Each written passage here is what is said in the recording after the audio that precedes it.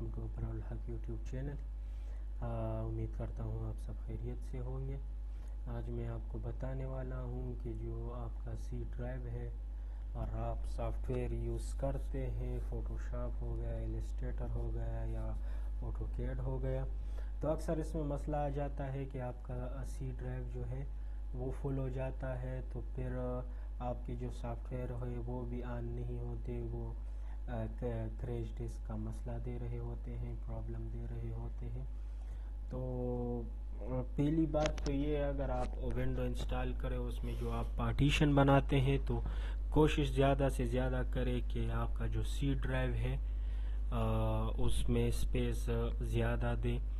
और ये इसलिए कि जो सी ड्राइव है तो वो ज़्यादातर यूज़ होता है। सॉफ्टवेयर आप इंस्टॉल करते हैं तो सी ड्राइव में जाता है।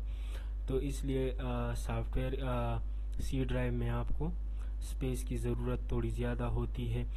और सॉफ्टवेयर मेरे पास फ़ोटोशॉप है अभी मैंने रिसेंटली अभी विंडो इंस्टॉल की है।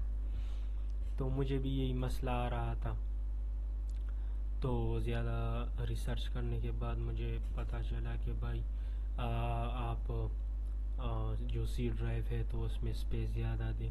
अक्सर बंदे कहते हैं कि भाई बस सी ड्राइव है, सिर्फ़ विंडो ही पड़ी रहती है, उस पर स्पेस वैसे ही हमसे पकड़ लेगी इतना।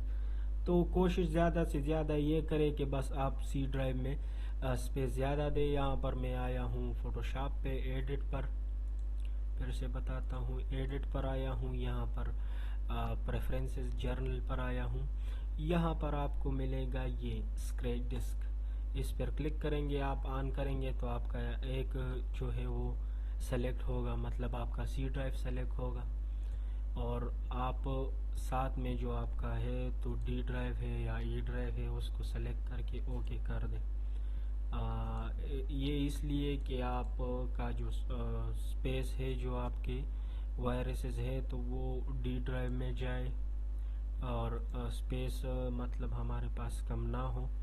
आपको अगर ये मसला अभी आ रहा है तो आप विंडो डिफेंडर को ऑन कर दें और स्कैन कर दें सारा तो आ, मसला थोड़ा सा हल हो जाएगा। लेकिन मेरे पास जब ये मसला आया था तो मैं इसके पीछे लगा था। मैंने स्कैन भी किया लेकिन स्पेस थोड़ी सी साफ़ हुई ना। तो फिर मैं डलवाई नई विंडो डलवाई है तो मैंने सी ड्राइव को जो स्पेस है तो वो ज़्यादा दे दी है।